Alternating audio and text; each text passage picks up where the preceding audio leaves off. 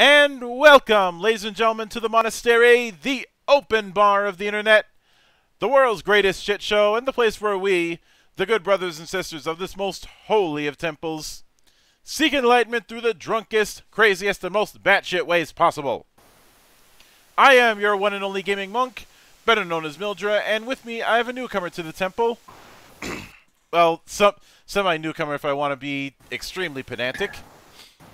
Coming to us straight from Divine Madness Press, the creator of the fi the RP the fighting game RPG, better known as Fight with an exclamation point.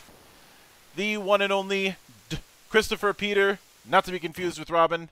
How are you doing today, man? I'm doing all right. How are you doing? I am doing good. it it is it is a little bit too bright and sunny for my taste, but I'll manage. Not around here. It's not. you want to you want to switch weathers? uh, yes, actually, I do. I'm just I'm just counting the days until winter comes back. I know that I know there's the oh. old meme about winter is coming, but um, that's but given where I come from, one that's half the year, and two that's where I'm going to be at my most comfortable because out because I know how to dress in layers, and every every one of my colleagues doesn't. Fair enough. Fair enough. So, a bit of a tradition is to open with the humble beginnings, in a sense. So, I'd like you to walk me through your first introduction to role playing games and what about it made it stick. Okay, sure. All right, humble beginnings, huh? Mm-hmm. All right, so humble beginnings for me goes back to uh, 1978. So I am one of the uh, the first generation role players. Um, and uh, I started when I was uh, when I was eight years old, and I actually did not start with role playing exactly. My uh, my first exposure to role playing games was through uh, Metagaming's uh, The Fantasy Trip, which Metagaming eventually became Steve Jackson Games, and uh, their games Melee and Wizard, which eventually became The Fantasy Trip. Um, uh, which was uh, dudes on a board, but uh, but it was also a role playing game, and uh, that was the first exposure I had to the idea of making a character, and that character being you know mind eh, that had had a, name and a personality besides just being you know stats and weapons. Um, so that was actually where I, I first started in role playing, and it was kind of cool to see the fantasy trip come back via Kickstarter uh, last year, the year before. I um I guess I'll have to admit the nostalgia wasn't so great that I bought into it because I, I, I, knew as much as I'd enjoy reading them that I, I wasn't going to get played, so I, I, I didn't bother. But um, I did pick up Dungeons and Dragons a short time after that, and uh, and found it honestly at the time very different from the fantasy trip because combat was actually so much simpler, uh, so much less tactical that it was uh, like oh well I guess this is this is different, but um, but ultimately it did take hold, and so now I have uh, I've played a campaign, at least one campaign of every edition of D&D since then, from from original through through fifth, and a lot of uh, OSR stuff along the way. Um, and then in the early 80s, I found Champions in the Hero system, which became a lifelong friend for decades. My last major Champions game uh, finished in 2004, and I picked it up again since then, but not not for quite as long a time. But but man, superhero role playing that really that really became my thing and remains my thing. I mean, I played I've played every genre I think, and I like some genres a lot, uh, but superhero games are always where I go back to. It's what my current uh, live group is uh, is playing right now as well and um, so yeah, so that's that's that's a big deal for me there. The other genre I, I try to play a lot, but rarely succeed to is I like espionage games as well, and I've kept trying to write an espionage game and haven't succeeded yet. Uh, I think they're very difficult to write. Um, so uh, yeah, I mean that that that should be enough to get us started anyway. Yeah. Now, it's in it's um it's interesting that you met. It's interesting that you mentioned a fond a fondness for soup for superhero games, um, and in and in the in that one of the things I'd like to ask that I've I've asked a few other people when it comes to when it comes to the concept of supers. In fact, I did a whole panel on that a few weeks ago. Um, is what what do you think the appeal is when it comes to that particular style of play? Okay, I think I think it's a, a few things. I, I, think the most blunt and obvious one is is the same reason people like superheroes in general. It's just the idea of wish fulfillment. I mean, I think that kind of goes without saying. And of course, role playing games are even better for that because we, we don't have to just talk about wish fulfillment. We can actually play it out in a structured setting, and that's that's really great. Um, for me personally. Uh, another thing that I really appreciate about superhero games is I really like the idea of um, of, of, of heroes, of uh, you know, of, of you know, virtuous good guys and, and morally upstanding good guys. I mean, I, am the type who plays the paladin in D and D, um, so having the um, even when you do a messy superhero story, there's a presumption that there's a that there's there are good guys and bad guys, and uh, and I like the the the the clarity and the cleanness of that as a as a storytelling arc. And then um, I think the other thing that I would say is a, a big deal with superhero games is uh, they had the ultimate kitchen sink games.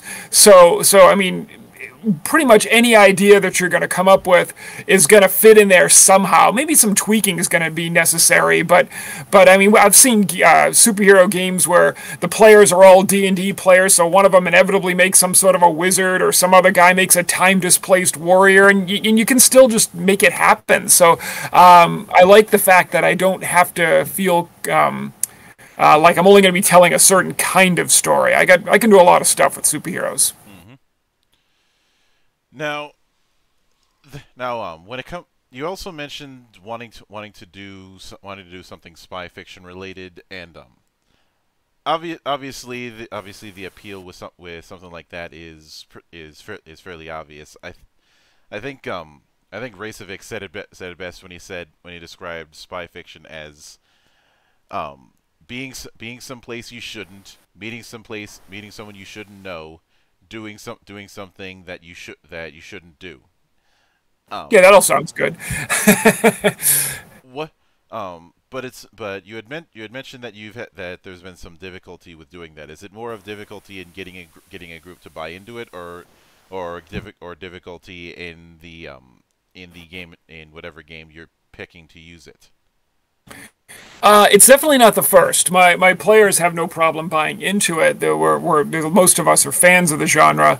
Um, mechanically, man, that's that's where I find it really difficult to do and do well. I, I, on the one sense, you could say it's really easy. Like you have any any modern you know rule set in theory, you can do espionage. But but I think the genre has enough important tropes to it that and this is a big part of my own game design i like designing to genre tropes uh, and so i don't think that there's many games that do that well um, I, I, guess there's a couple I think that do it pretty well. Uh, I, I do think Spycraft Second Edition did it well, but man, if there was ever an, a, an example of rules bloat, it was it was that game. And um, I've I've tried to play it rules as written, and it was um, it was it was too much. Um, but it's still very cool. And I would say the other one that I think does it especially well is Night's Black Agents by uh, Pelgrane Press. Uh, but that uses the gumshoe system, a heavily modified gumshoe system, which is definitely not to every player's taste. Yeah, the the gumshoe system was was was built for investigative style play, and it does it does that very well. Um, the the trick the tricky thing is um, when it comes to when it comes to the spy when it comes to the spy genre is that it's a genre that's on a spectrum. Um, I like I like to consider it a, a a bit of a one plane alignment where on one end you have the you have um you have the Tom Clancy, you've got your you got your Jason Bournes, you've got your Jack Reachers, um, that sort of hyper realism um, approach and on the other hand, you have the more you have the more you have the more um, pulpy kind of approaches. Um, you're James Bond, you're the Man from Uncle, um, that kind of thing. Mm-hmm. And I think I might spread uh, uh, spread your spectrum out a little bit further than that. I would I would go even further out out to uh, past the hyper real to something like Le Carre, you know, which gets us closer to real spy work, which I personally find pretty dull for gaming. Yeah, I'm I'm just go. I'm just going that when when it comes to trying to do a spy, when it comes to trying to do um sp spy fiction that most people would be somewhat fam somewhat familiar with, even with memetically, that's that cover that covers a good enough net. I can go further sure. if I want to get really pedantic, but that's a case of getting lost in the woods. Fair enough. Um, now, when it now when it comes to when it come when it, this brings me to um to fight because the vibe that the vibe that I've gotten from you is that you're is that you're someone who is willing to jump around between systems instead of being a single or even two or even two or three system um, lifer. Um, Absolutely. So, how how did you how did you get into fighting games and how, and I'd like you to go through the moment where the idea of the two of them inter of fighting games and role playing games intersecting first propped up in your mind. Okay. Um, so before I even got to fighting games, I would have to say it started with martial arts movies and uh, and watching a lot of the a lot of the bad martial arts movies of the 80s. I mean, as I, as I you know going back to my humble beginnings again, I remind you I'm old, and uh, so so the, we did do some gaming that that was ordered towards those kinds of movies, like you know your Steven Seagal and Jean Claude Van Damme movies, and uh, for that we often used uh, the hero system, which at the time it was called Ninja Hero, and now now it would just be you know martial arts hero system. Um, and and I always like that sort of stuff. I've always appreciated the uh, the the the both the athleticism and the the wire fu that that comes up in those kinds of movies. Um, so when I got a hold of fighting games, which for me definitely started with Street Fighter Two. I was I was automatically drawn to this because it was it was martial arts fighting, which I thought was really cool but then all the different characters had different visual styles to them and visual fighting styles um, that differed as well. So I wanted to I wanted to try everything. Um, so from there, uh, it was around that time. It was a year or two later. It was about a year later from starting Street Fighter Two that um, that that the Street Fighter role playing game came out, the Storyteller System one, and I thought this is great. Here's a system that is focused, that was intended to do uh, Street Fighter. Um, even though you know since since then I look back at some of the stuff that was written in that book and I go like, oh, this is this is just wretchedly bad compared to what it's supposed to be. But uh, in terms of fluff and stuff, but um, but I, I was really excited by this, and so our group got to got to playing this right away. It was an easy groove for us because we had already been playing Vampire and Werewolf, so the system was already familiar. And uh, and one of our guys, who was not the normal game master for the group, that would be me, uh, but one of the other guys decided he was going to run this, and he managed to run. Uh, I, I moved away; I wasn't part of this campaign, but he managed to run a campaign for five years using the the Street Fighter system. Uh, so it definitely had legs to it, but back in the world of fighting games, my enthusiasm for playing Street Fighter led me to hunt down and discover all sorts of other fighting games. Um, and, uh, you know, using um, uh, the Sega Saturn and, uh, and a chipped PlayStation, I was able to to get uh, a lot of stuff out. And then if I jump ahead a few years to 1999, we get the Dreamcast, which was which was the best 2D fighting system, pretty much best fighting game system uh, I think that's ever been released, uh, hardware wise.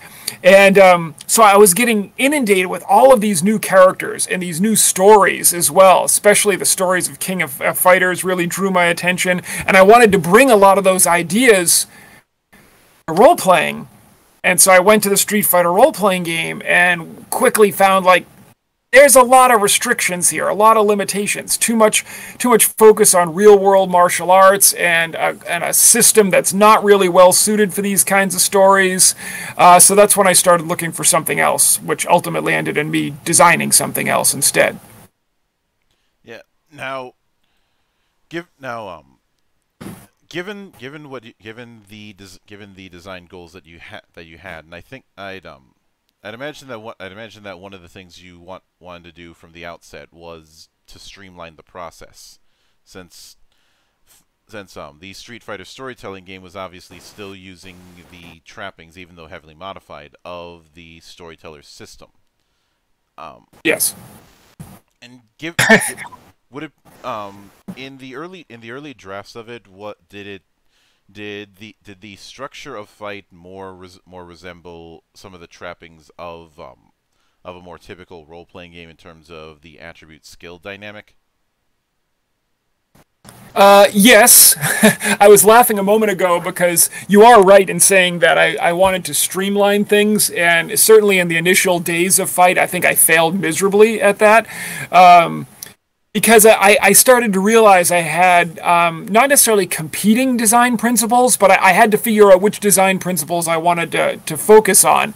And uh, once I made the decision that I wanted to focus on emulating fighting game combat, which I know some people don't uh, like as much about Fight, but which is definitely what I, I, designed for.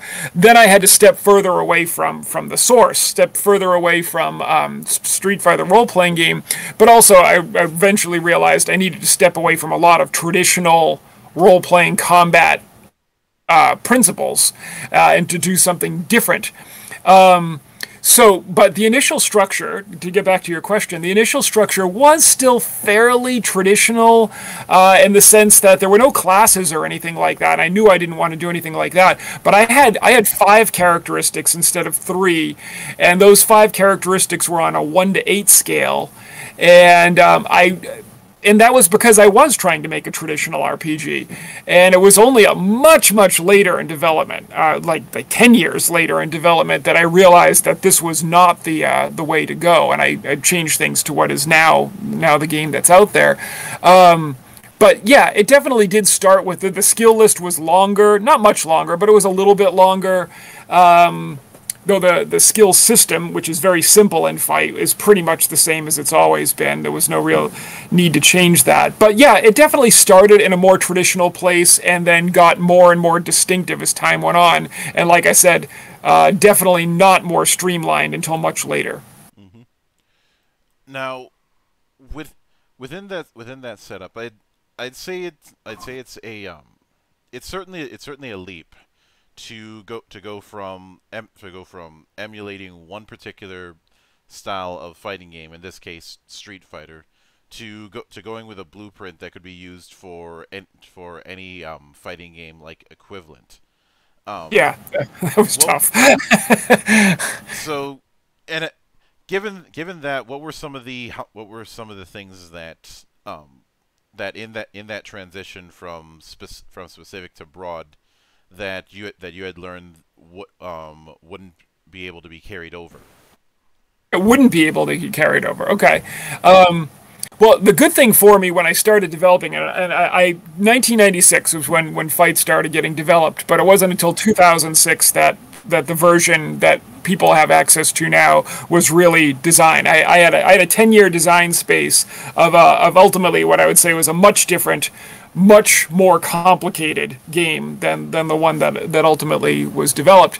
Um, but when I started, um, 2D fighting games were not only the norm, but the kind of the whole point of fighting games mid 90s was to copy Street Fighter 2. So uh, while while they had different elements to them that I, I, wanted to design for different ways of doing super moves or things like that. It wasn't I, I wasn't straying too far from from the base. Um, what started to make things more complicated was first of all the advent with Virtua Fighter and Tekken of 3D fighting games and a much different way of doing combat. Uh, which I do think Fight manages to do, though I admit that its roots are definitely 2D fighting based. Um, and then as you get a little later into the 90s, uh, you started to see the first um, arena based uh, combat games. Um, um, the, the best one to me would be uh, Power Stone for that, but um, there was what Biofreaks and um, War Gods, some other wretchedly bad ones. Ah, yes, War, uh, yes, War Gods. The time, the time when Midway tried to rip off themselves. Right, exactly.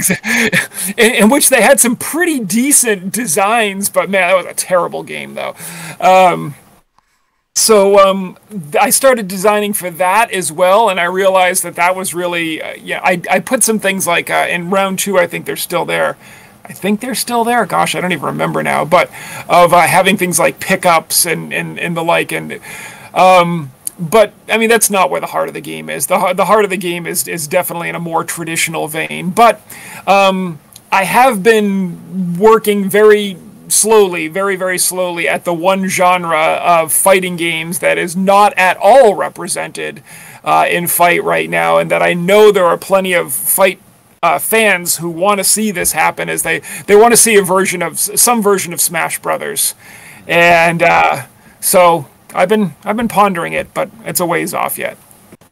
Yeah, especially especially since um, I've I figured that, I figured that would be that would be a ways off since it since the way it works is very is very counter to the way fight works. Specifically, the fact Yes. that it's not about it's not about it's not about whittling down life, although there are HP matches within Smash. But the but the crux of it is doing enough damage where you can set where you can send someone flying off off the uh, off the screen or or out into the pit. Right. So it'll have to require a, a much different way of doing stuff, but uh, I'm up for the challenge. It's just it's it's lower on the list of things to be done. Yeah. Now, one of the one of the key things that I that I that I had I of course noticed is is go is going with instead of going with a single a single all reads all roads lead to Rome kind of die, you go with um a polyhedral approach, where Yes. the uh, where the co- the core at the core attributes are um are repres are represented by di- by die specifically. Um, and the ma- the main game that a lot of people will th- a lot of people will think of when they see that kind of polyhedral like approach is the likes of of say Savage Worlds. Um, Sure. maybe if they're in the weeds like me, they'll th- they'll think of Cortex, but that but I'm in the minority on that front. Um, This was also well before Cortex as well. um, what gave what gave you the idea to u- to use that particular setup instead of a instead of a more typical die pool or um or a sing- or a single polyhedral? Okay. The the version that never was published did use uh, single D10, so it was a, an entirely D10 based system. And of course, I was designing in the 90s when a string based system was was definitely that's what you did. Um, and um, the but the switchover uh, was was something there was definitely reasons why I wanted to switch over, uh, and I did consider all sorts of different ways of doing things, but. Um, and uh, like I said, I was before Cortex and, and doing this. But I was not before Savage Worlds, but I, I will at least say in my own defense that I had not yet read Savage Worlds. And when I when I had read it, like, oh, this is familiar. But um, the reason why, to get back to the point, uh, I wanted to be able to have something that allowed for a more dynamic play than simply bonuses to a die we're going to give for different effects. Um, so instead of saying that that a, a situational effect would give you a plus two on initiative, changing it to increasing the initiative die still created the possibility that even though you had improved opportunities, you could still roll a one and uh, and that's that is now baked very much into the way the style of the game is, is supposed to be played. And let me give you a specific example of that. Um, something that people often experience, and, and I will admit this is this is a um, first timers negative play experience. I'm I'm quite familiar with what people are likely to say after their first playthrough. But one of the things that is that is crucial to fighting video games that's in fight is the notion of hit stun and that if you get hit before you act, then your opportunities to act are either diminished or at low levels removed entirely. And so I, I will occasionally hear, is it possible then that I might never get to go during a fight? And, you know, on paper, theoretically, it's possible that that's the case. Just like it's possible that you might sit down to play Street Fighter and your opponent may may get a perfect on you and you didn't do anything at all. Um, now, people will say, well, the difference here is that in Street Fighter, I'm playing for 15 seconds. In Fight, I'm playing for at least 15 minutes, probably a lot longer than that, half hour, to do this same fight scene. Um, but here's the thing this gets back to the dice size. It is extraordinarily unlikely that a person is going to really be able to succeed in never allowing their opponent to go because sooner or later just the law of averages is going to make that initiative die come up a 1 or that con- control die to come up a 1 when you really needed a 4 and and and things change that way. And you can modify the dice so that you can increase the opportunities of that happening unlike a straight bonus system which could have aggravated the problem much further. If the if the everybody had a D6 for initiative, but fast characters had a plus three on that roll, then you would have seen much worse situations than uh, than the die size increase method works. Yeah.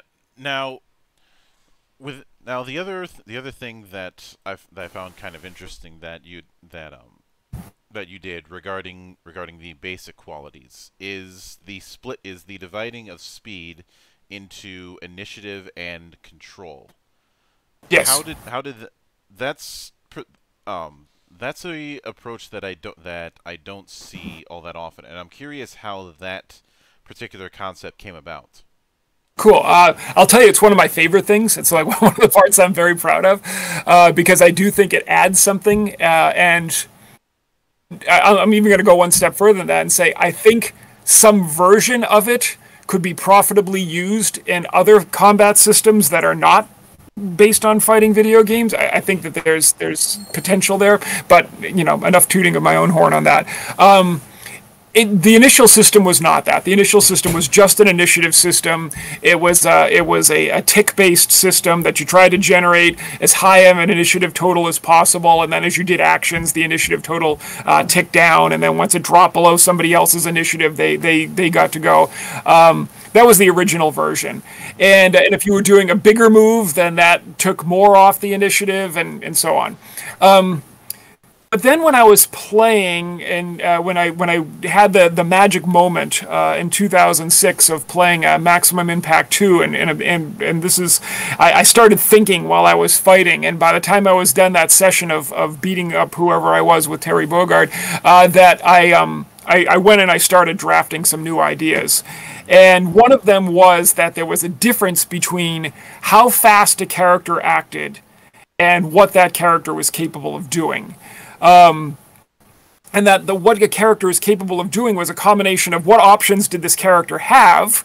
Um, like not only, for example, is Zangief slow in general, but to really get his special moves off requires a, a, lot of effort to get his good moves off.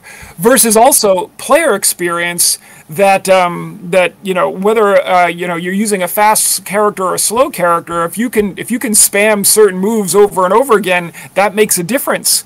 Well, that's not just initiative. That's that's also about the ability to use the initiative. So I came up with the idea that it's not about just who goes first, but when you do have a chance to act, what are the different options that you have for to, to act?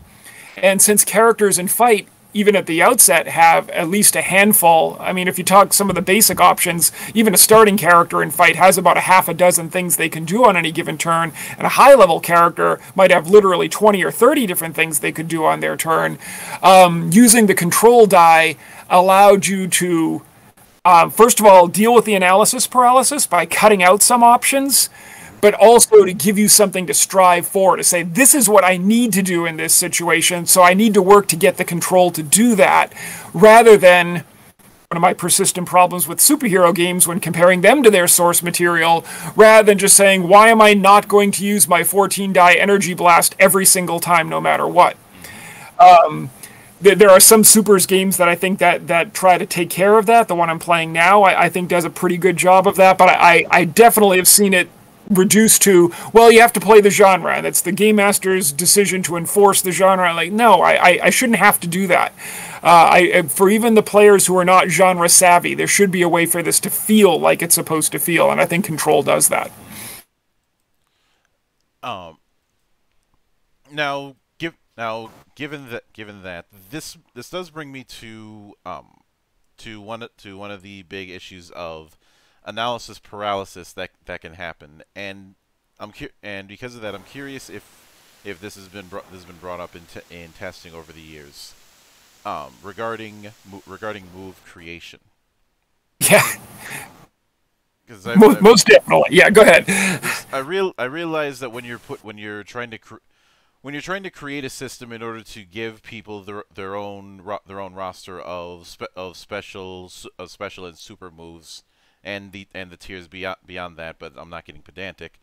Um, some de some degree of choice paralysis is inevitable, but what steps did you make to take to um, mitigate that issue? Um, that's a good question. Um, because I, I think some would say that I, I don't know if I have successfully mitigated the issue, but um, it's an effects driven system. So and, so any effects driven system is going to run into this as a as a potential difficulty. I think a slight difference with fight compared to a superhero system, which I, I definitely think that there are there's a common common uh, uh, blood uh, between the two genres, um, is for a superhero game. Even if it's effects driven, you have the sense of I've read comic books, I've seen Marvel movies, so I, I know like I want to shoot an energy blast, I want to fly. Whereas if you are less versed in fighting games then looking at the list of effects, the elements and liabilities, um, seems a little more arcane. And uh, and and I unfortunately know that there are some people who really really want to play fight and and fall into that that the the morass of, of move creation or the perceived morass of move creation, and and stop there. So you know what have I done about this? I think the most important thing I did in second edition over first first edition, though second edition has even more options than first, uh, was to create. I don't have my book with me, but to uh, there's a, a text uh, box in the early on in the chapter that explains that you do not need to be overwhelmed by the the hundred odd choices for for elements. That there really is a list of about ten or fifteen elements that if you just used those alone you could make an overwhelming number of moves seen in, in fighting games.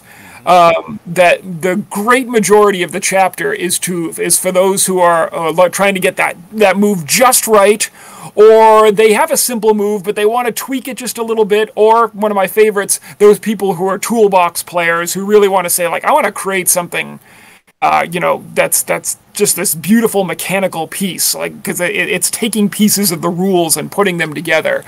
Um, my co-writer Leo is is far better at that than I when I when I'm writing NPCs for my games. It's like, um, let's see here, increase damage, uh, hard to evade. Good, let's move on to the next move. You know, um, and that works. It, it, but it really comes down to what what you want to do with this system. Anyway. Um, so that was my, my I think my biggest mitigation is to say you don't have to go full force into all of the options. But that is not the that's still not going to be enough for some people. So um, so you know to to do a, a little shameless plugging here, um, we're we're probably only a week or so out. I think maybe two weeks out uh, before um, Fight Move List will come out in PDF anyway. The the hard copy will be a little bit later, and uh, and that has that has 400 pre-constructed special moves in it. So um so there you can you can just pick. Uh, but you know what? You have a book of 400 special moves. I might have just exchanged one analysis paralysis for a different one. So we also put random charts in it, so you could just randomly roll what moves you have. Which um, being able being able to rent being doing a full random setup i'd be i'd be interested in just to see what sort of craziness shows up out of it. Agreed. Yeah. Um now given now given that there's been there's been times when i've when i've discussed new editions of of projects with people and in some cases the new edition is more of a director's cut and in other cases it's a it's a full it's a full on rework. Um, where would you where would you where would you say that Fight Second Edition falls into that paradigm, and what were some of the big um, takeaways from first that you tried to apply to second? Uh, yeah, it, it's uh, using those those terminology. I would say that second edition was designed more as a director's cut than a, it is definitely not a whole new edition. When I think whole new edition, I, I think of like you know the transition from third edition Dungeons and Dragons to fourth edition Dungeons and Dragons. That was an edition change. I yeah. mean, um, that you you weren't gonna you weren't gonna easily move your characters over from one to the other. Mm-hmm. But in Fight Second Edition, the goal was uh, at the outset before we started working in earnest the goal was to have something that was a solid 90 to 95% backwards compatibility. 95 is really what i was looking for like a few tweaks here and there but basically you were playing the improved version of the same game. When all was said and done i didn't quite hit the 90 95 i think it's more 80 85% um, but even so, I, I, I, did not set out to redesign the game because I didn't think the game needed redesign. I was I was quite happy with it, and it had survived. Um, it had survived ten years in an indie marketplace with consistent sales and and uh, people being unable to break it really. So I was like, this is this is solid. But we did know that there were a couple of things that we wanted to address. We wanted to address the clarity of how certain move elements interacted with each other, and make that so that it was standardized without needing a, a really extensive FAQ about all sorts of different rules interactions. Um, that was one big thing. And then the other big thing that I wanted to do was to make it more explicitly easy about how to do combats that had more than one on one fights. Like I said, explicitly so because it was present in the first edition, but I will admit that it was not as supported as it is in the second edition. Mm-hmm. Now, give now um, given all given all of that, um, one of the, there were a couple there were a couple add-ons when it came to fight first edition that I that I found kind of interesting given given the background that you mentioned. Now, ob obviously obviously something like something like round 2 is what is falls into the category of what I've nicknamed um, toy box add-ons, i.e. Um, expanding on all this putting in all the stuff that there wasn't enough room or time to put in in the core book, but Unlockables Shonen is is one is one that I find is one that I find um, interesting. Um, and the big reason for the big reason for that is there is um it kind of it kind of coincides with the with the rising presence of what's been called anime fighters in the in the fighting game scene over the last few years. Um, mm-hmm. especially especially with the popularity of the of um, the output of say Arc System Works. Um, right when it came when what I'd be curious about is was was Unlockables Shonen um so, something that was presented to you, or was that an idea you had in the back burner? Okay, all right. There's a lot there. Let me let me let me respond on a couple of things here. Um, first of all, I completely agree with the with the, the toy box appellation for round two. Um, I will tell you um, that I love designing tools and uh, and I, that's one of the reasons why fight is you know the 400 pages is because there, there's so many tools there and round two was at the time very much there was me taking 10 years of working on this game and separating out what do I need in the core book, which was first edition, and then what was everything else, and that became round two. Um, and I and still people will talk about like you know you have the core book, but you really want round two if you want to see everything else that that can be done. That that wasn't by design, but it is it is the case. So anyway, yeah, I love designing with toolbox approach to things. But now Shonen. Uh, first of all, Shonen was my idea. I had wanted to do it for a really long time. Um, uh, in fact, there were the elements that became Shonen were present before first edition was released. Um, but uh, in order to talk about shonen, I, I, actually have to talk about my relationship with, with anime in general because uh, you know one of my um, one of my potential sins as the designer of Fight is that I actually don't have a high appreciation for a lot of anime that is out now. Um, and that's not because there's anything wrong with it. It's just that story wise, I've I, it, it no longer appeals to me the way that it used to. But back in the 90s there was more anime that was that was combat oriented a lot of it which was obviously fighting game oriented. Granted a lot of it lackluster might be a generous way to, to say but but those were really influential to me.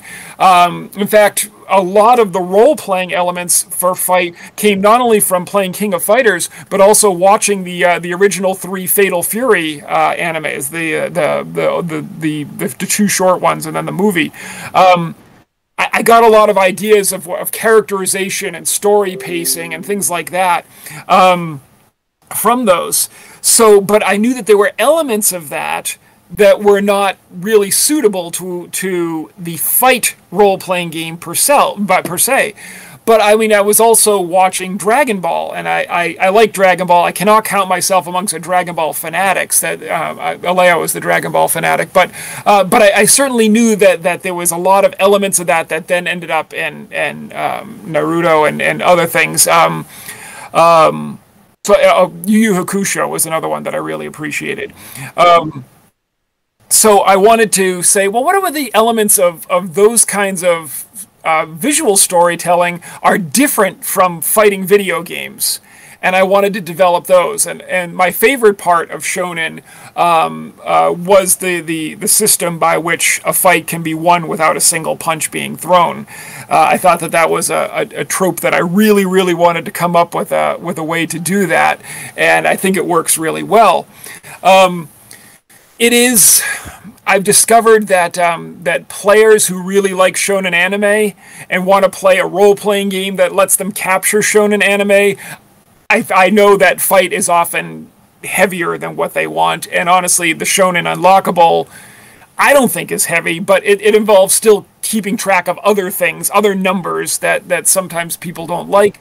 Uh, but I really like what came out of that. Now, you also mentioned Arc Sys, um, and uh, they're they're the bane of my existence these days as a developer because trying to keep up with the with the madness that they're able to put into a fighting game is uh, is very challenging. um, I, I can I can I can certainly see that because just when you think you've caught up, they've um they end up they end up putting something else that that is doing something mechanically interesting, and then it's like, well, be, well, back to the back to the drawing board, boys. Yeah. um, yeah, the, the round three book will probably be a, a pretty pretty thick toy box. am I get am I gonna have to, if I end up covering that in unimpressions? Am I gonna have to am I gonna have to use the um the needle drop click up click clip of yeah that's a thick boy. um.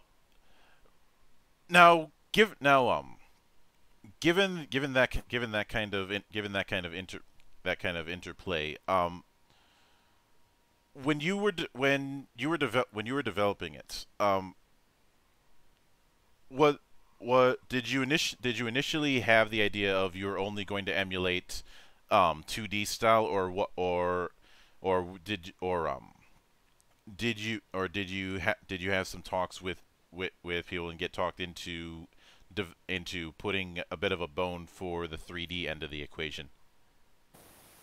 Um, it was definitely designed with 2D gaming in mind, and I, I don't mind saying that. Um,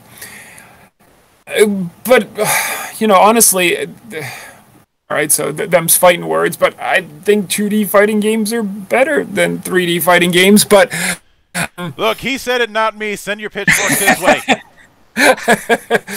um, but and that that's not to say that I don't like them because I because because I have all of those as well. But uh, no, it was definitely designed with 2D fighting emulation in mind. And so what I did was rather than try to reinvent the wheel of of all right, well now I need a separate subsystem if you want to do 3D fighting. Uh, I wanted to see how much there was, how much commonality was there between them. And let's face it, there is a lot of commonality between them. But I, I had to figure out all right, what are the distinctive elements of 3D 3D fighting um, separate from 2D fighting and, and designed for them. Um, so I, I, think 3D movement on a battle grid is a big important part.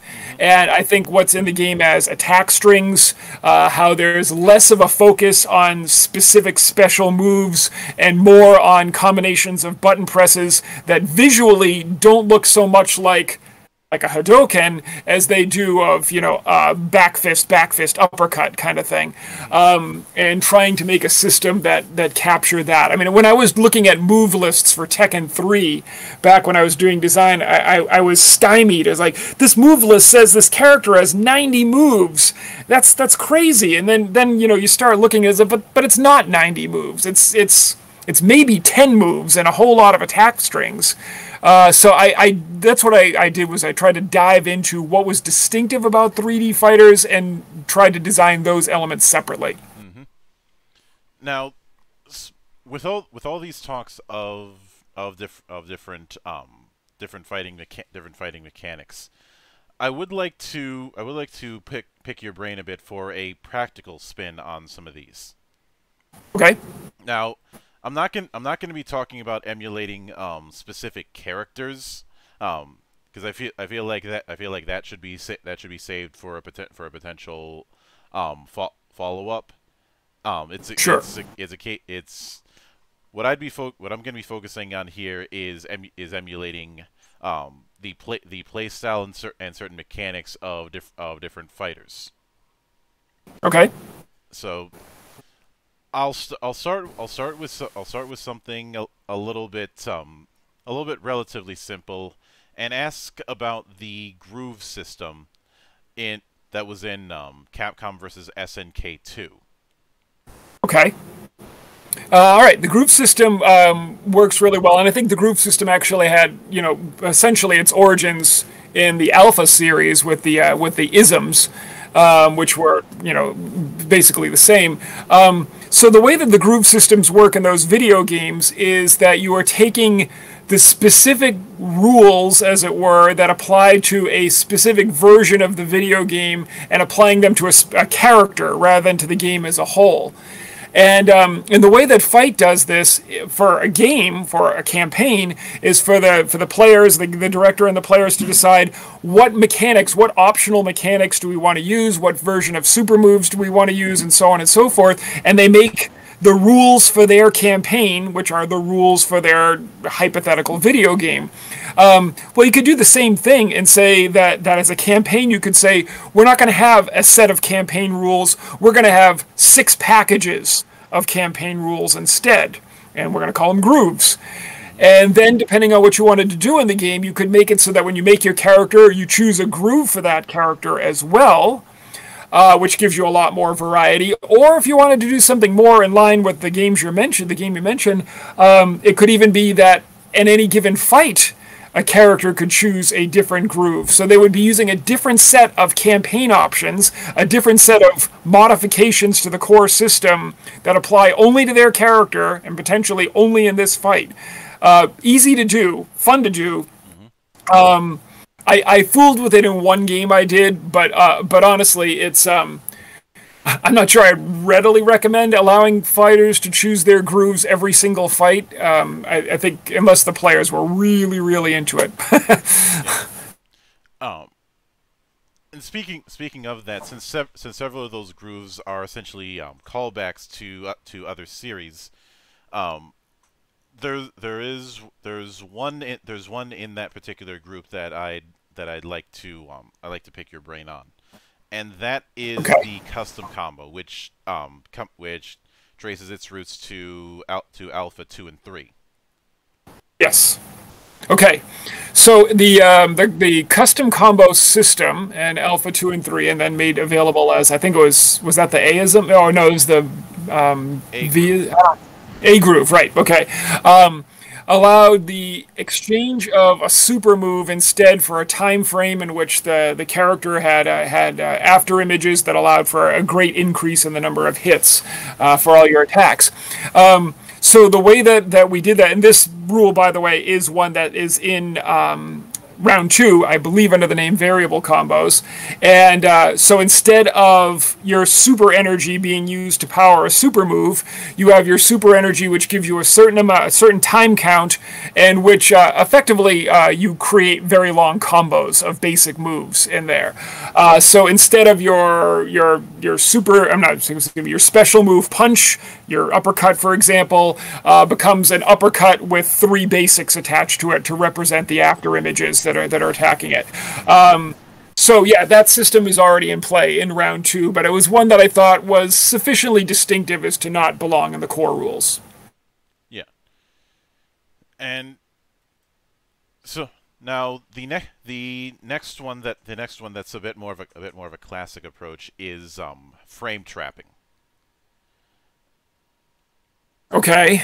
Oh. Um, give me the definition you're using, just so I can so I can work with it here. Um, now, um, now, um, because of the fact that I needed a, I needed a official definition, um, I have to thank I have to thank Dustloop for for provi for providing me with a with a glossary that I can fall back on.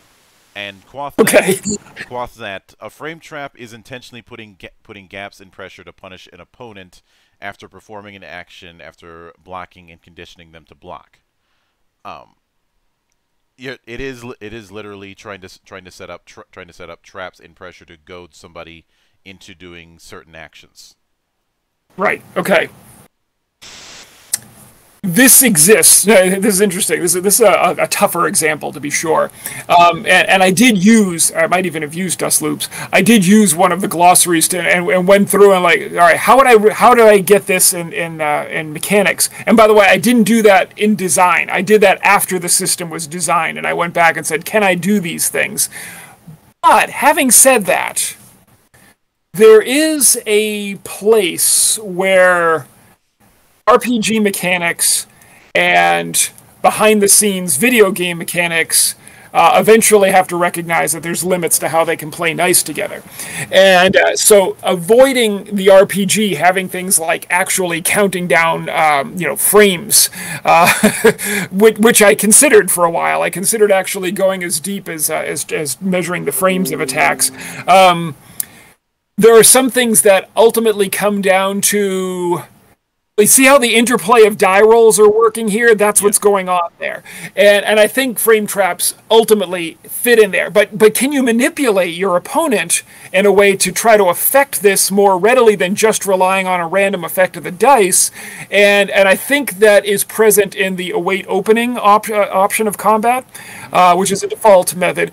Um, where you can drastically increase both your initiative and control by being able to hold off your opponent. Similarly, the the, the full defense option also does a similar thing, um, where you try to um, trick the opponent into making a bad move and, and, and uh, having themselves get exposed to a big attack. But in the game terms, that ultimately comes down to using the rules to manipulate your initiative and control to be higher. Mm-hmm.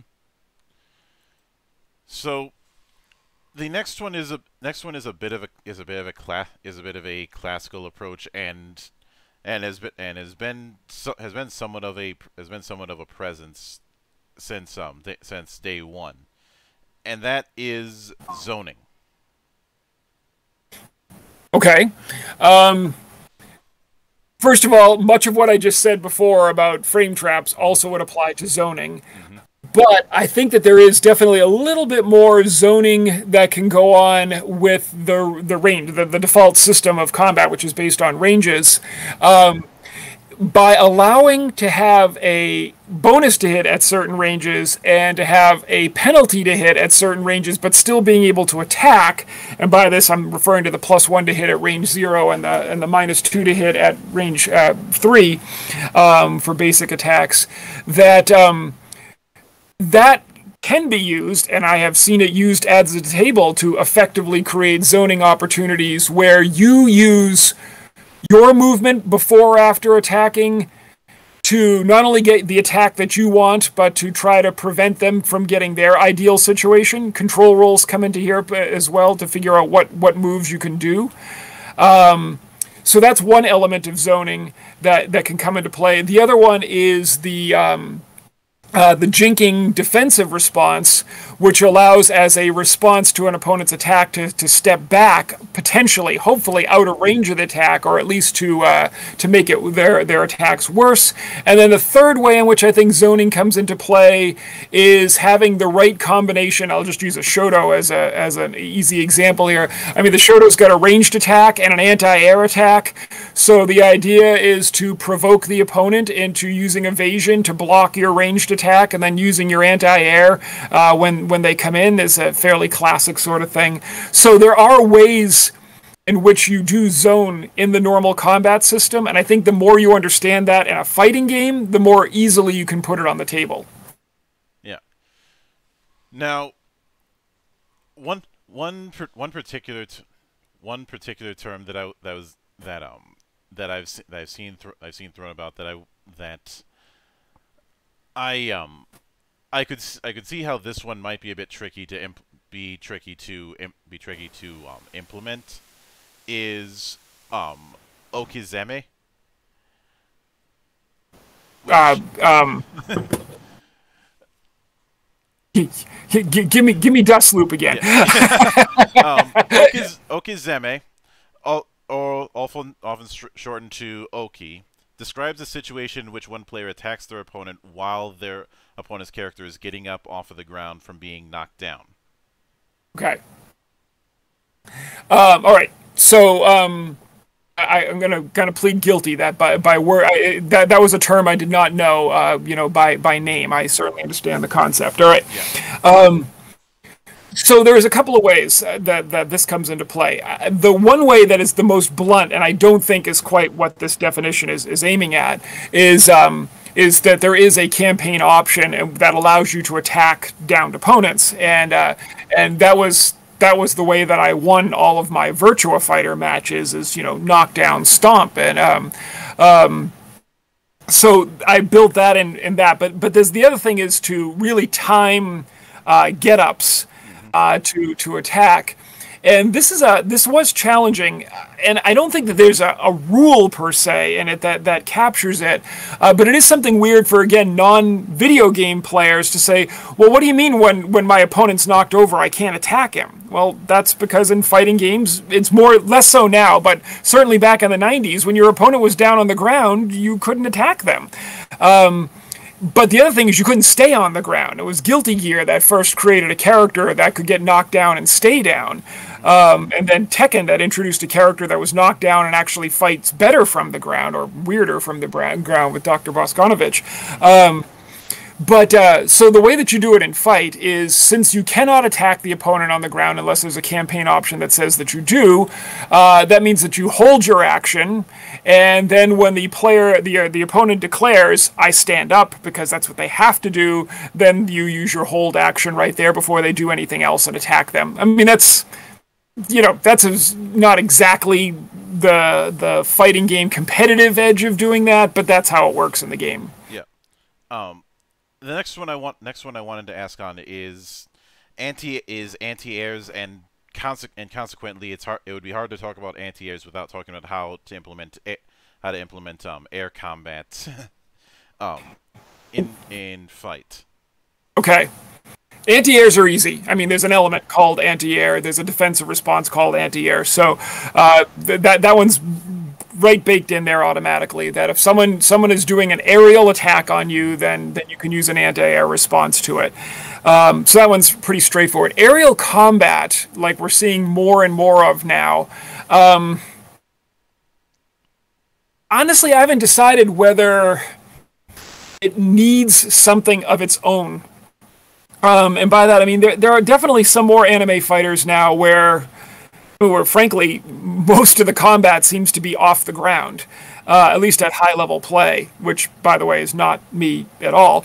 Um, but for the most part, in terms of the fight mechanics, nothing is really happening that needs to be explicitly spelled out in the rules. So, for example, if if a, if a person jumps into the air, the other person leaps up to meet them in the air and and does a, a combo in the air, which is you know pretty standard play. I mean, really, all that they they have done there is that the the opponent has moved forward, the other person has held their action, they they and the response to their action, they they do an attack and they make a big combo out of it. To which we describe that there's this this aerial combat. Um, whether I need more than that in the future, I guess I'd have to give some more thought to. But uh, but that's that's how I see it right now. Yeah. Um. Now one now, um, as some as somebody who had to endure um D and D third edition's interpretation of this kind of thing, um, I want to I want to ask a I want to ask a bit about um about gra about grapplers and gra and grappler builds because obvi obviously um this is one of those things that a lot of a lot of games have difficulty with and since you're doing since fight is supposed to be emulating fighting games it's inevitable that someone will want to do a grappler build, whether whether it be whether it's a whether it's a single character or whether whether they're trying to do a more wrestling themed campaign. Um, because because well, Fire Pro Wrestling World has been making waves for the last few years. right. Um, right. Rightfully so. So when so the big the big question that I, that I have is is making sure that things like throws and command throws are are can be their own thing. Is is that's is that something that would be feasible?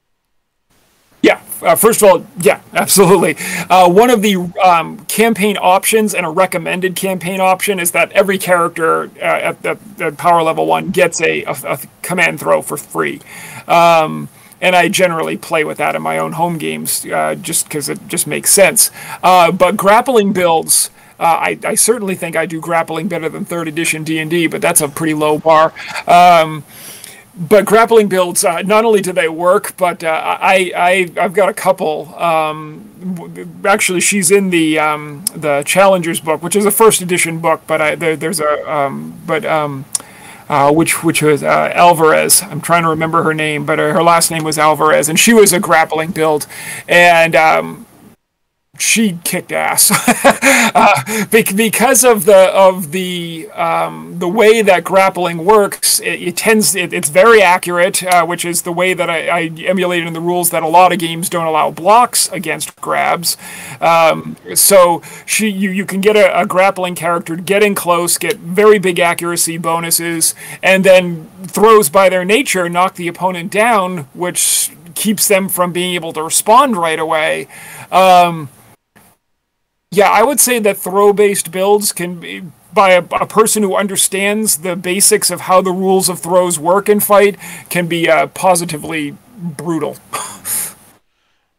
now, with now, um, one of the thing, one of the thing, one of the things that I that I had asked, um, in, I had asked in the past on how on how to do, on how this would be handled is, in is the vein is the vein of um of emula of emulating say Samurai Shodown, which especially especially in its more in its most recent incarnation, which is pretty damn good. Um, unli unlike a, unlike a lot of its competitors, Samurai Shodown is is not as speedy. It's far more mm-hmm. deliberate with a lot more with a lot more high damage effects. Right. Um, how would you emulate that kind of setup in fight? Okay. Um, First of all, I like the new Samurai Shodown. Um, I'm, I'm going to take a slightly contrary opinion. I wish I liked it more. Um, I, I, I, I find it not as is engaging to me as the older ones. Um, and there was there was an aesthetic to the original Samurai Shodowns that that uh, hasn't been touched except by Last Blade. Um, that really draws me in. And uh, but that that actually leads right into your question. If you play Samurai Shodown one or two.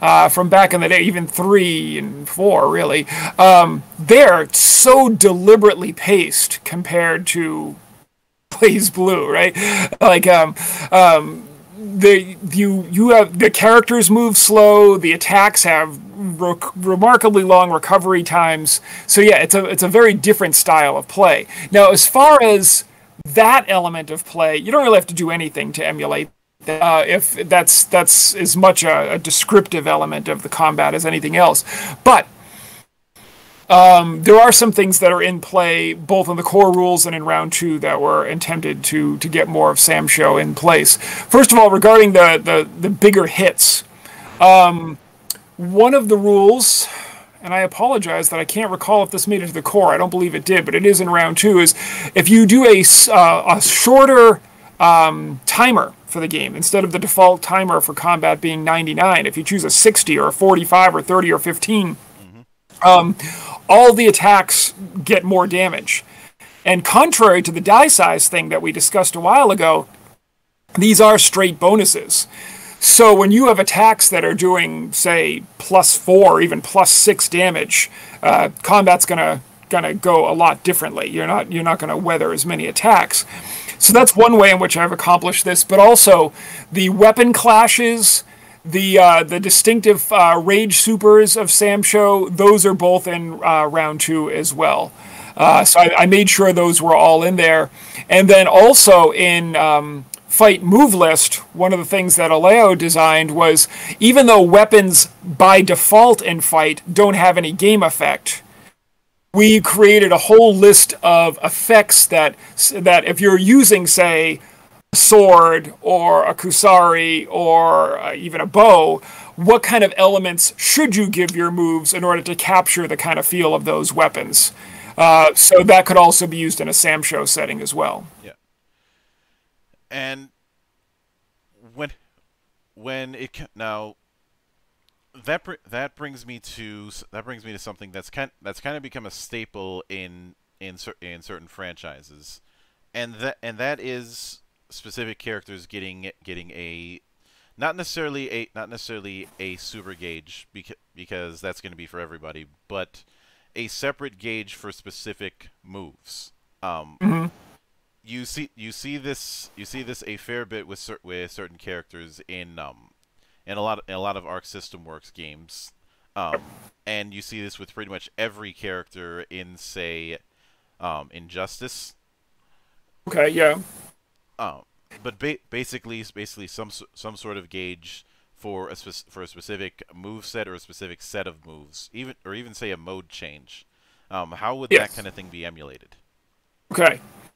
The um the gauges in Injustice are, I mean, they're they're not technically in there. I because I mean I, I haven't built for Injustice yet. Um, but I will. So, but I'm going to leave that one to, to the side.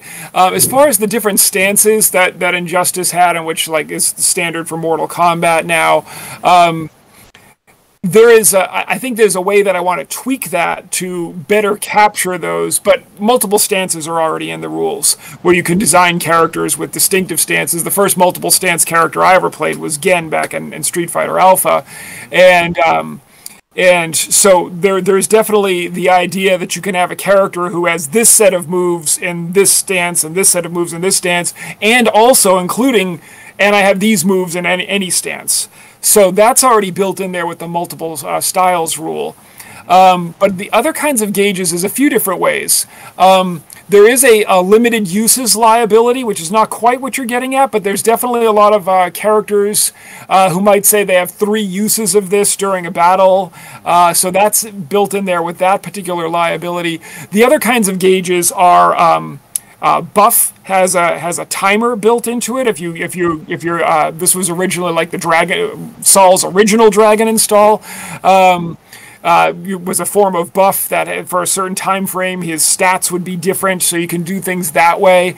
Um, and then, of course, you could also have moves powered by a super gauge. Uh, you could also design something where you have your super moves and your super gauge, um, but you could give other characters another gauge, uh, your EX gauge, your Fury gauge, whatever you wanted to call it, and then use the liability uses super energy and just change that to uses rage energy and uh, and and do it that way. You could do that so every character has such a gauge, or you could use the technique quality to make it so that only one character had such a special ability.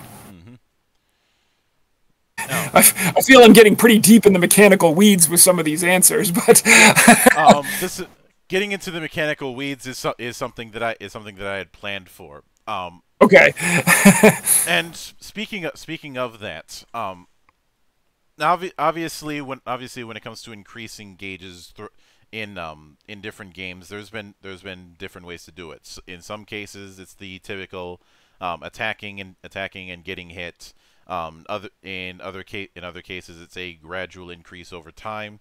Um, but one one particular approach that I'd be I'd be curious how um, how you'd have this work is is um is a command is a command based increase. Um, the the a few examples of this kind of thing is the rage setup from Sam Show or um Ga- or Garou Mark of the Wolves, and also the um also the gauge setup that Order-Sol has in uh, Guilty Gear. Okay, so the ability to uh, just to make sure I'm understanding here, the ability to increase the gauge uh, without hitting and being hit. Yeah, it's just Okay, that while yeah. doing it, you're going to be vulnerable since you're spending that amount of time on it. Correct. Okay. Um, yeah, there's I mean, plenty game. I mean, the the um, Dragon Ball FighterZ does this, and um, old King of Fighters does this as well. That's already in there. That's um, it's presumed to be a default campaign option unless you decide to remove it, uh, called Power Up. So instead of taking your normal action in combat, you get to um, you get to uh, roll a die to increase your super energy by a certain amount. Um, and like I said, the presumption is that that is the default because of my love of King of Fighters. Um, so that's it. It's as simple as that, really. Your love of King of Fighters, except for the bosses.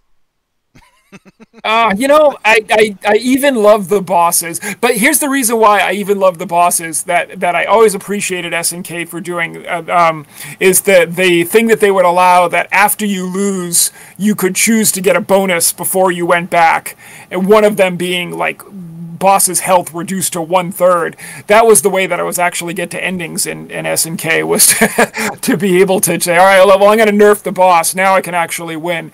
But uh, otherwise, I don't mind them being as hard as they are. It's it's fun. I, I can I can certainly uh, see that, except for Geese, because fuck him.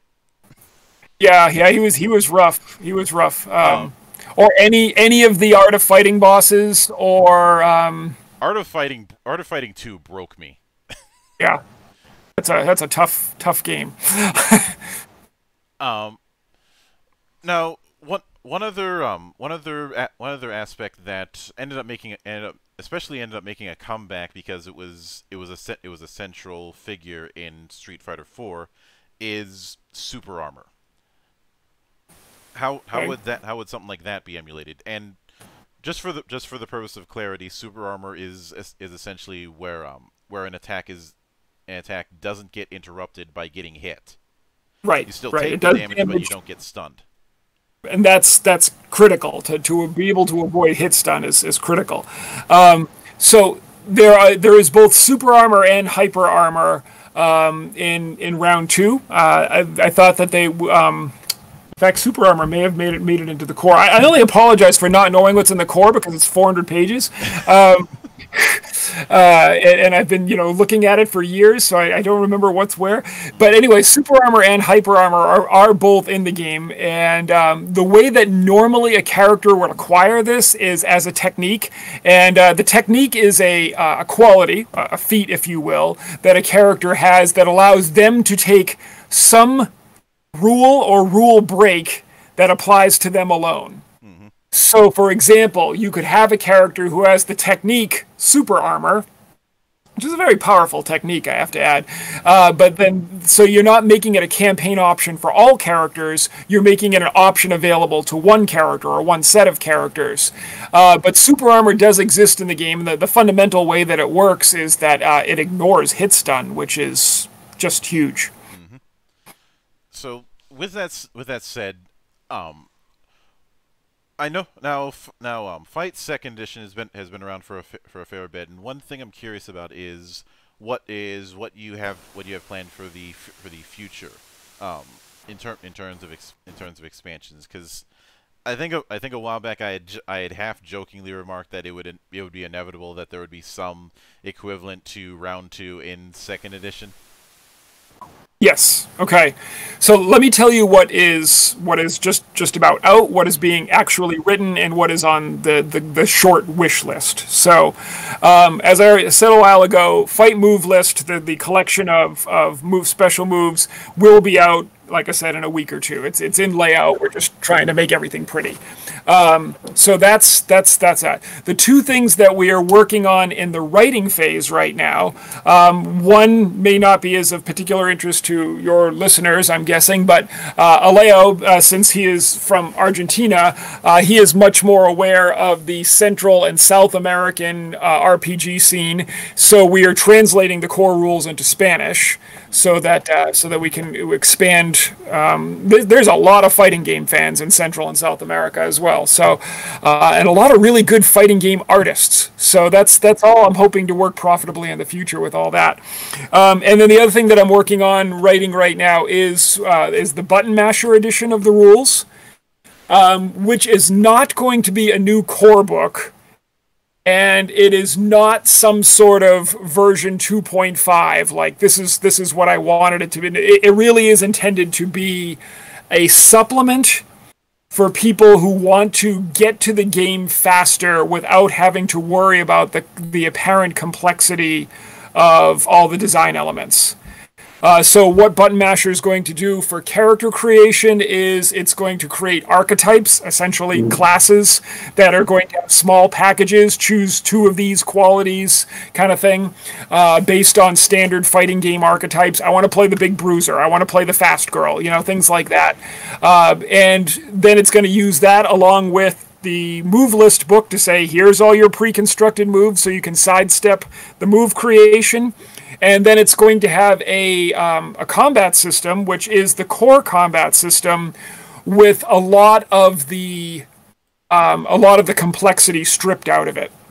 Um, so that people do not have to feel that wow there's this modifier and this modifier that I have to remember to, to keep it. So it's a, a much more straightforward fighting system so I'm actually really excited about the the writing of that. I'm having a good time. I'm actually having a good time taking apart my combat system. Uh, to say like if I wanted to have something that someone could sit down at a con, for example, and play more easily, uh, what would I do? And then for the people who would say, yeah, but you're stripping out all the parts that are that are really distinctive about a fighting game. Like, no, I didn't I didn't take them out. They're they're there. That's the way the game's meant to be played. But some people are going to want a, a, simpler entrance, and so that's what I, I'm working on there. So those are the things that are in process right now. Yeah. The um, the thing that's on the, the, the, the, wish list is definitely round three, um, and um, I, that's going to be a big project. So I'm, I'm a little little not sure what to do with that. Um, and then uh, and then uh, the aforementioned uh, Smash Brothers thing is, is something that I, I also wanna I wanna make something with that. Um, we have talked about um, settings uh, a lot. I myself am not enamored with the idea of putting out a setting book like, you know, here's the default fight world or something like that. I think the game thrives on it being a creative uh, uh, sandbox. Um, but I have always told uh, you know fans on the Discord and all that. If, if you wanna if you wanna design your setting, you wanna make your characters, you wanna make your world, you wanna write it up, I'll I'll help you publish it. That that's that's how I got on this. Is I had an idea for for another game, and I wrote the designer, and I said, "What do you think of these ideas?" He said, "You should write it," and so so I I did. He you know, and that was how I got into this. Um, and that's what made me have the confidence to actually publish fights. So I'm happy to help someone else get their ideas off the ground, but I, I don't see settings being something that um, that uh, will be the case. Um, and then, with one exception, um, I, I, did a few years ago have a conversation with Level 99 Games, uh, the makers of BattleCon, and um, was going to do a licensed supplement for their characters from BattleCon um, in fight terms. Um, I'd still be interested in doing it, but I but at the time we were working on second edition and knew that it was going to be a big distraction, so I, I, I put it aside. I I don't know if we're going to get back to it or not, but it's out there anyway. Well, oh, with I'll certainly be looking forward to to seeing how to seeing how the, how those projects um, develop. And it's interesting. It's funny that you bring up level 99 since I have a well, I've well, I haven't had the opportunity to to meet um to meet to meet Brad Brad Talton Jr. I have um I have a I have a long and illustrious history when it comes to enjoying their work. Um, yes, it's good stuff. That in, that in one of my earliest reviews was um the one time that they delved into RPGs with Mystic Empyrean. Mm-hmm. Um, but with all that said, I do want to sincerely thank you for taking the time out of your schedule to come all the way up to the temple and enjoy the insanity at play here. Yeah, thank you for inviting me. And anytime you see fit to return, the door is always open. As I often say around here, drinking is not mandatory, but it is encouraged. Thanks. and of course, a sincere thanks goes out to everyone who took the time out of their schedule to come onto the show and enjoy the madness. And there'll be plenty more where that came from, as there always is here on the open bar of the internet. But until then, on behalf of the good brothers present and not present, my name is Mildra. I am your gaming monk. Stay fucking frosty, everybody.